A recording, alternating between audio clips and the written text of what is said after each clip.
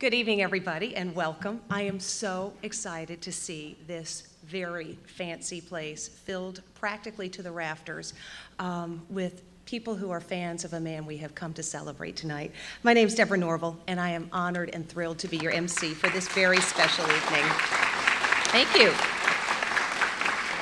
Tonight, we are going to explore what it means to be um, a legend, because we do have a legend in our midst. And part of our celebration will include some unbelievable musical performances. And because you do not wish to miss a single note of this, because tonight we are exploring the unbelievable life and career of a man who, frankly, staggers me when I look at the accomplishments that he's achieved. He's a hero, a humanitarian, a composer, a maestro, and internationally regarded as one of the greatest pianists of all time. The Yamaha Music and Wellness Institute tonight honors Byron Janis with its Lifetime Achievement Award. And this evening marks the first of four times this year that Byron Janis will be so receiving a Lifetime Achievement Award. Four doesn't sound like nearly enough because it is absolutely staggering what his reach has been over the course of his professional life. Here's a quote from the New York Times from back during the Cold War. The New York Times said if music could replace international politics, Byron Janis could consider himself an ambassador, breaking down Cold War barriers. There are few who have so pursued their passion as rigorously and reached so many milestones by overcoming their own adversity as the great and most humble Byron Janis. And so tonight, I feel like we ought to have that guy from the old This Is Your Life TV show up here because we really are going to be going through this man's extraordinary life.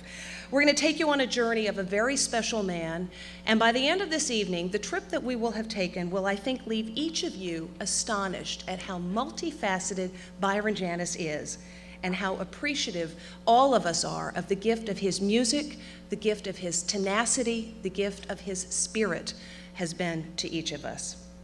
So, Maestro Janis, I will start things off first with a letter from uh, Mayor Bloomberg. He wanted to be here tonight, but when you're mayor, everybody wants a piece of you, and, um, and we didn't win. But what we did get is a gorgeous letter, which I would like to read you, and I put it in plastic so I won't mess it up, because this is the real one that Mike signed.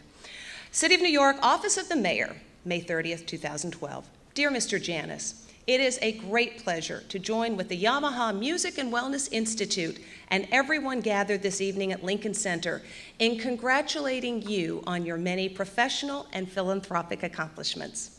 For a remarkable 69 years, your tremendous talent has thrilled audiences around the world, and your constant presence on New York's performing arts scene has made you a fixture of our city's thriving cultural life. Throughout your distinguished career, you've dedicated yourself to achieving excellence no matter what the diversity, adversity rather. And your work with the Arthritis Foundation has inspired so many with your strength and creativity. A legendary pianist, composer, author, humanitarian, and New Yorker, you are more than deserving of tonight's accolades, recognizing a lifetime of achievement. On behalf of the City of New York, please accept my congratulations and best wishes for continued success. Sincerely, Mayor Michael R. Bloomberg.